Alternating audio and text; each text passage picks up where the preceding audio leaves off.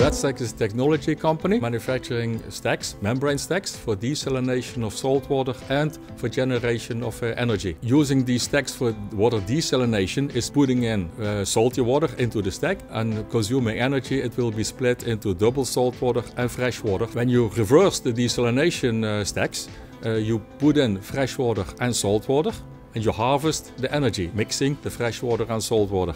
So everywhere where a river flows into the sea, you take the fresh water, the salty seawater, and you harvest a lot of energy. In the energy transition, we are implementing a lot of solar and wind power. And they have one thing in common that they are not continuous producing the energy. Blue energy, as long as the river flows into the sea, we generate energy. That means you have less need for conversion and storage system as you are producing baseload. The worldwide potential is uh, about 1 terawatt, which is about 10% of the world power consumption.